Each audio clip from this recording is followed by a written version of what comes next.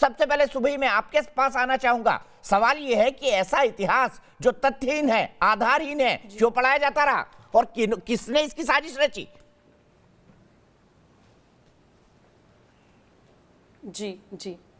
दीपक जी, देखिए, मैं हमेशा बोलती हूँ, आप कोई भी कंट्री उठाकर देख लीजिए, हर कंट्री का ये इतिहास होता है कि जो भी आक्रांता या इन्वेडर्स ने उन कंट्रीज़ में कभी किसी तरह का आक्रमण किया होता है और जब भी वो देश आज़ाद होता है, सबसे पहले वो इतिहास उठा के फेंका जाता है। उन लोगों का नाम भी लेना अपराध होता है। जर्मनी में हिटलर का आप नाम भी ले दें तो पुलिस उठाकर लेकर चली जाती है।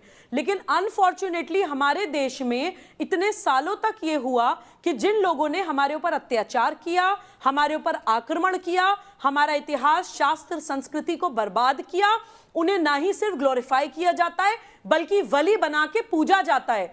अभी हम जिस टॉपिक पे डिबेट कर रहे हैं कि औरंगज़ेब ने मंदिर बनवाए मैं ये पूछना चाहती हूँ, क्या ये वही औरंगज़ेब है जैसे आपने अभी बोला, काशी विश्वनाथ मंदिर तोड़ने वाला औरंगज़ेब, कृष्ण जन्मभूमि पे विनाश करने वाला औरंगज़ेब, गुरु तेग बहादुर का सर कलम करवाने वाला औरंगज़ेब छोटे छोटे बच्चों की गर्दनें काट के, उनके सर से माला बना के, उनकी माला उन बच्चों की माओ के गले में डालने वाला औरंगज़ेब, ये उनको टॉर्चर करने के लिए कि वो धर्म परिवर्तन कर ले, या फिर कश्मीरी पंडितों के साथ अत्याचार करने वाला औरंगज़ेब। कौन से औरंगज़ेब की हम यहाँ पे बात कर रहे हैं? अब देश की आँखें खुल चुकी हैं। बेवकूफ़ बनाना ये लोग बंद करें और हमें बेवकूफ़ समझना बंद करें। हम लोग ना बेवकूफ़ है, ना कमज़ोर हैं। सिर्फ़ बहुत टाइम तक हम लोगों को इग्नोरेंट रखा गया है।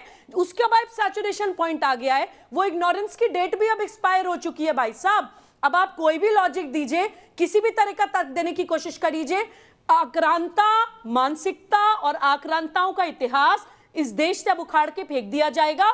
अब इस देश का बच्चा और इस देश का युवा अपने देश का वो गौरवशाली इतिहास जानना चाहता है और वो जानेगा जो हमारा अधिकार है।